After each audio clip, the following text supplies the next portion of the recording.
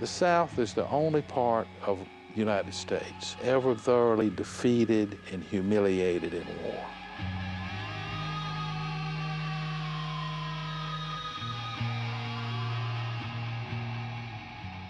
It does create a very visceral backlash, and Atwater was adept at tapping into that. It was a backlash against people who think they're better than you are. It's this cultural resentment that people in the South feel because these liberals, these smartasses, run everything, and we have nothing but contempt for them. Lee's friends said, You guys all think we're dumb. You have the same kind of prejudice against us that you accuse us of having against black people. The big boys trying to push us around, trying to remind us how much greater they are. We'll show them. Well, Lee had a we'll show them kind of strain through him. It was about as wide as his backbone. Resentment became the destiny of the Republican Party.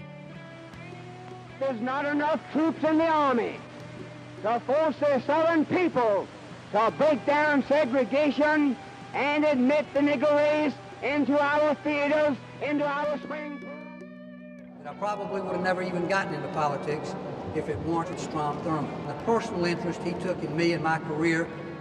Before Strom, he was, you know, where's the next party coming? Let's get drunk tonight.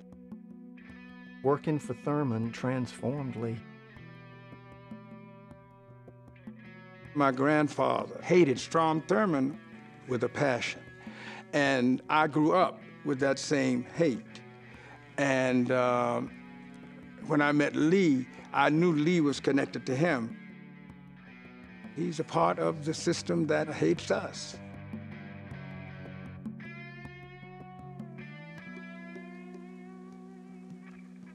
Good old Strom. Golly, 21 years old, has sex with a 15 year old daughter of the maid there at his house and produces a child. And to come out and say the blood will run before we integrate personifies what we're talking about. You know, the hypocrisy of racism. The South is Afro Celtic. It's where you find the Celts settle and where the Africans are. There's a place where the same person who's saying yes, sir, and yes, ma'am, you can go and get lynch rope the next day. He says, that, so, I mean, the South is complicated.